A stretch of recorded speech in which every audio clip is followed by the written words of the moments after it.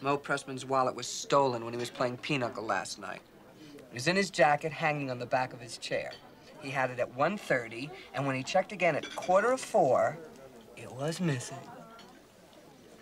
Vivian thinks she remembers this dance kid, Johnny, walking by. So we asked him, Do you have an alibi for last night? He says he was alone in his room reading. There are no books in Johnny's room. Hmm?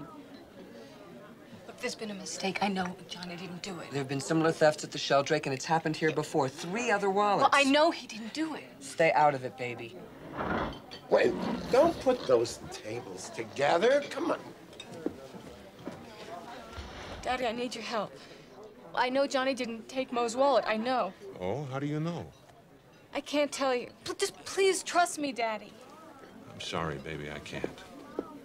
This Danish is pure protein. Uh, Mr. Kellerman, look. Uh, maybe Johnny didn't do it. Anyone could have taken it. Maybe it was, uh, you, you know, it could have been that, that little old couple, the Schumachers. I saw her with a couple of wallets. Sylvia and Sydney? Baby, you don't go around accusing innocent people. Yeah, but I saw them. I even saw them at the Sheldrake. Didn't you say something was stolen at the Sheldrake? I got an eyewitness, and the kid has no alibi. Come on, Neil. You'll learn what it's like to fire an employee. No, Mr. Mr. Kelman, wait a minute. I know Johnny didn't take the wallet. I know he didn't take it because he was in his room all night. And the reason I know is because I was with him.